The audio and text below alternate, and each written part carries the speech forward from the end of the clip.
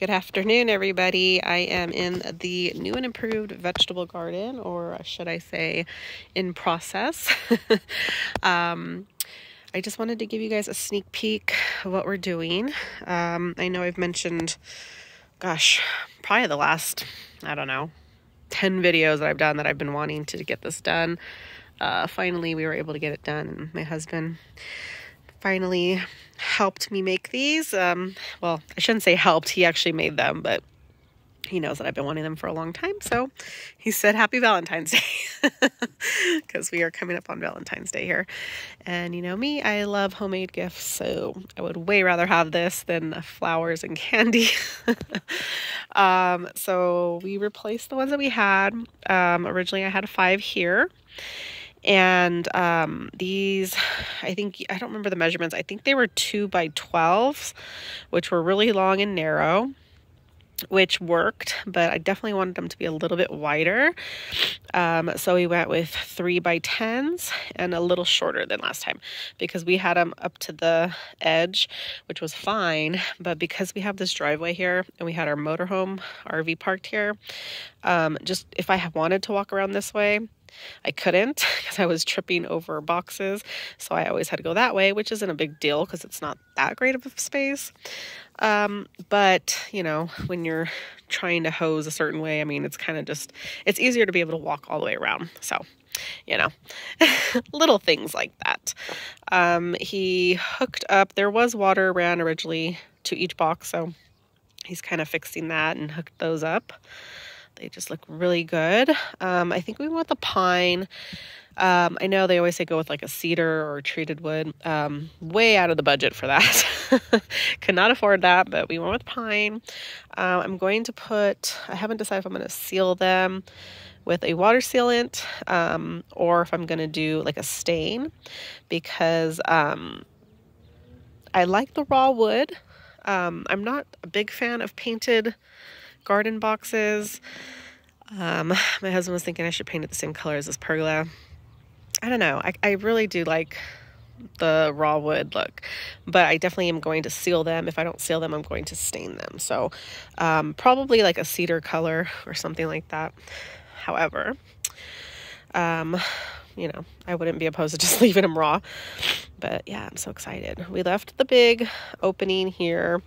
I think originally I said I was going to do like a small box here. I think we figured it would look kind of weird with this lamppost that we added.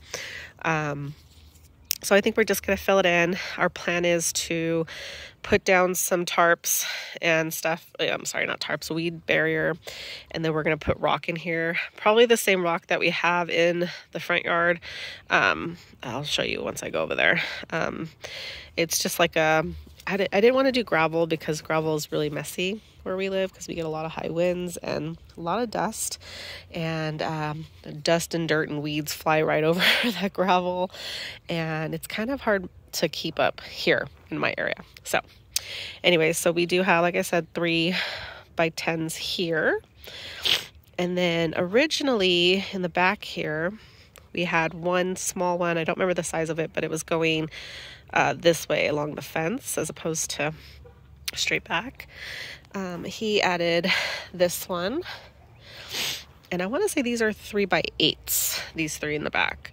So I have definitely got more gardening beds than originally I thought I was going to get, but that was the hope. I did hope to get them. Um, as you can see, this one's kind of covered by shade a little bit, which gives me um, some more options. Maybe I can put like my cooler stuff, like my cabbages and lettuces and stuff, because although they do like sun and they will get morning sun here, um, it's like afternoon. We're a little bit afternoon right now. Um, uh, so this will be nice because you can keep those um, just a little bit happier during the summer months when we get into triple digits. So I don't know why I'm walking around with this. I found it on the floor. in case you're wondering. Um, and you know, the ones in the back are full sun. Um, these ones are all full sun except for this one. As you can see right now, it gets a little bit of shade from the um, shed back here. So the um, cold frame is still here. Um, it's gonna stay here. It works great. Um, it's one of those Harbor Freight kit ones that we've had. I think we've had it going on maybe four years now. I could be wrong. Um, but you know, hey, it still works. It's still doing good. We do have a nice framing on it. Still working. I have some seeds going in here. um, you know, just some tomatoes and peppers and some uh, broccolis, brassicas, and all that sort of thing. Just kind of getting a head jump start for spring. Even though it's really nice day today, it's going to get cooler here during the rest of the week. So we get false springs all up until March. So this kind of just helps protect them at night because we do get pretty cold here at night. So, you know, still going strong with that. Uh, my husband wants me to see if I can get replacements for these panels just because, you know, they've gotten pretty beat up from the sun or harsh sun and wind. they kind of have like a yellowish tinge. Um, you know, are they pretty? No, they don't bother me. Um, I'm working with what I got here. So, you know, um, might be something that we replace later on, but not a high priority. I just want to get, I wanted to get the beds done, which he was able to finish, and I'm so happy that I can start planting um, because I was like, last year I was so disappointed. I had all my seeds ready to go, and none of my beds were ready. I really didn't have anything to put it in. I could have put it directly in the ground, but you know, I wasn't uh, diligent in prepping my soil for uh, spring. So I was hoping that it would get uh get us motivated to build the beds last year, but it just didn't.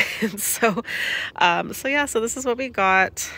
Really happy with that. Again, I have the five um, three by tens, and then the three three by eights in the back. And I think this is just going to be plenty of space to grow here uh, for our family. Um, I mean, I've never had the issue where I had too much room. So I've always kind of ran out of room towards the end of uh, gardening season. But um, hey, maybe I'll actually have some beds that I'm like, wow, I need to fill in that space. And I think that'll be kind of cool. So just a quick video on an update of the vegetable garden in case you guys were wondering. I know it's that time of year where everybody starts prepping for spring and you know, getting ideas for their own garden spaces. Um, I don't know um, if you consider the space big or not, um, even though I do live on a acre and a quarter. Um, you know, we chose this area because it was kind of just not being used at the time. And um, even before we had this driveway put in, um, we were just like, hey, let's put it here. You know, it's close enough to the house, but out of the way to where we can, uh, it won't take up our, our whole backyard. So there you go. Hope you guys enjoy it. I'll see you guys in the next one and get ready to start planting. So, bye.